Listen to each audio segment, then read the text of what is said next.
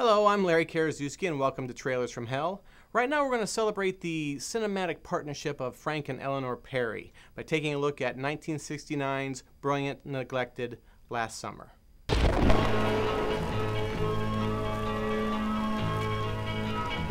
Frank and Eleanor Perry were pioneers of the modern American independent film movement.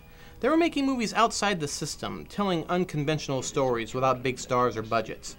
Frank directed, Eleanor wrote the screenplays. Their first major success was David and Lisa in 1962, which earned them both Academy Award nominations, which was unheard of at the time for an indie production. The success got them pulled into the big leagues to adapt the John Cheever short story The Swimmer with Burt Lancaster.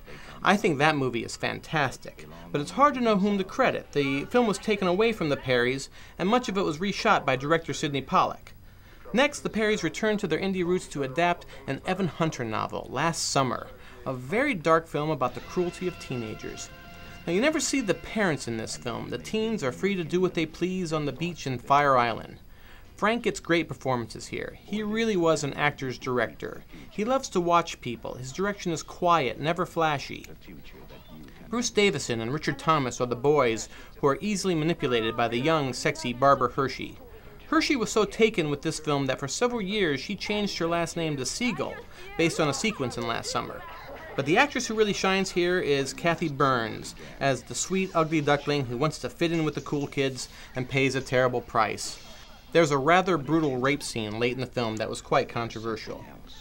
Miss Burns got an Oscar nomination for last summer. She's great, particularly in a long monologue she delivers about her mother's death. It's a shame this didn't lead to more things for Cathy Burns. Her only other major film is the terrific Red Sky at Morning, also co-starring Richard Thomas. Bruce Davison is very good here too. He, it's interesting that my two favorite films of his, this and Longtime Companion, both take place out on Fire Island. The Perrys' final work together was 1970's Carrie Snodgress film Diary of a Mad Housewife. I think that movie is their masterpiece, but then the Perrys' marriage fell apart and the two went their separate ways. Frank continued working, but his later films lacked Eleanor's psychological depth. He never reached this kind of artistic peak again.